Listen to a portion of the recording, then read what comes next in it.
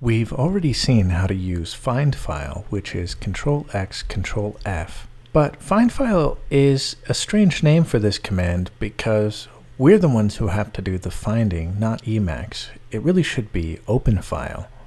So what if we don't know where the file that we want is located, but we know something about its name? Instead of find file, we can use the command find dired which runs find from some directory. We'll just use the home directory.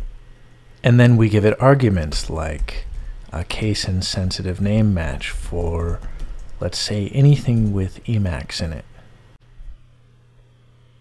Emacs displays the result in a dired buffer, which we've seen in a previous video already.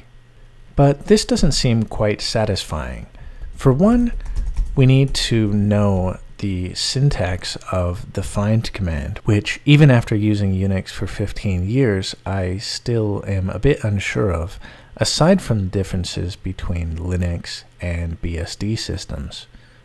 The other problem is that find is always going to be a little bit slow since it needs to search through the entire file system. An alternative is to use locate, and if your system has the locate command, which is installed and maintained by default on most Linux systems, uh, BSD, as well as OS X, and can be installed for Windows as well, the locate command will use a locate database.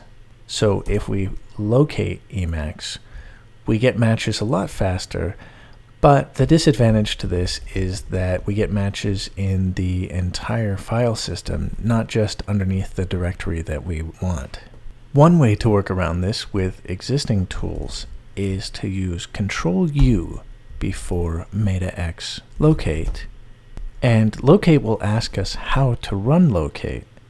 This is a pretty common pattern for Control U. When you prefix a command with Control U, it usually unlocks a more detailed or customizable mode for running a command. In this case, we can locate Emacs like normal, but also grep for our home directory as well to filter the results.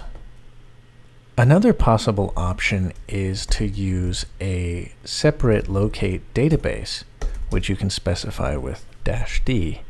And this could work well in cases where you have a large project and you maintain a separate locate database for it. And if you were always using this alternate database, you could customize. Let's search for locate, expand this frame, and change the locate fcodes file to change it from the default path to look for the locate database. Now, find and locate aren't the only way to find files on the file system. As with most things in Emacs, there are packages that can hook into other systems like Google Desktop if you happen to have them installed. Okay, so we've seen a couple ways to find a file based on its file name, but what about based on its contents? Let's look at the command rgrep, which stands for recursive grep. The first thing it asks for is the string to search for we'll just use Emacs. And then for the type of files, this here is a regular expression, and we'll just search in all files. And then for the directory, let's give it our home directory. And with that, our grep is off. You can see the command that it's running here, which is excluding a number of files and paths already, such as common source code repository directories and common temporary or transitory files. Also notice that grep is going to take quite a while and it's still running here. So I'm going to go ahead and kill the grep buffer and Emacs will ask me to also kill the running process. Say we wanted to search in a directory but not all of its subdirectories like that search which was going to take a while to complete. Instead of rgrep we can use lgrep. So let's try the same search in all files in the home directory. And now this time the grep has already finished. If the default list of excluded files and directories isn't what you want, you can customize group for grep and then find the ignored directories and the ignored files options. For example, if we were on an OS 10 system, we may not want to search through DS store directories. In my workflow, it's common for me to run a lot of greps. So say that now I want to search for anything with display. So we'll grep for display in all files in the home directory. Notice now, though, that our previous grep results were wiped out. There's only one grep buffer. So if you want to reference previous grep results or build up a number of grep result buffers, there's an extension for that. Let's list packages. And then search for and install grep-a-lot. Now that grep-a-lot is installed, it hasn't quite started working yet. If we run another grep, let's say for the previous results for Emacs, it still wipes out the latest search in the grep buffer. Let's try looking in Customize for grep-a-lot. And there are no results, not even for lot, we just get slots. So grep-a-lot is an example of a simple extension that hasn't bothered with hooking into the customization system. Fortunately, Emacs extensions have a tradition of including documentation inside of the source for how to use it.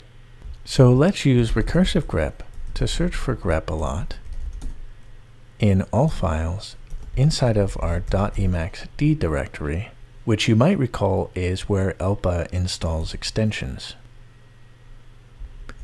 And here we have in ELPA grep-a-lot grep-a-lot.el, and el files are Emacs Lisp files. So let's look through the comments, and there is a note on installation here.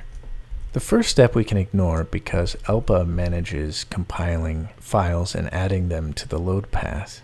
It's the second step that we want to use. We want to pull in grep-a-lot with require and set it up.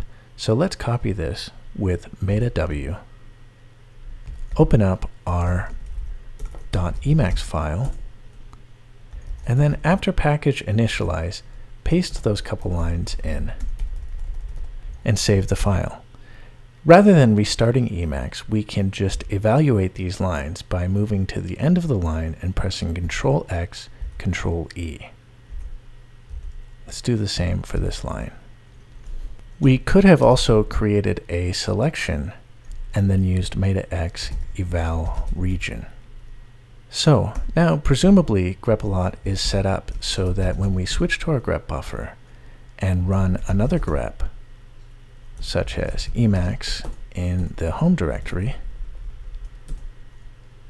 we now have two grep buffer results and we can do the same as many times as we want Notice that grep is suggesting defaults based on what's underneath the cursor when we run grep.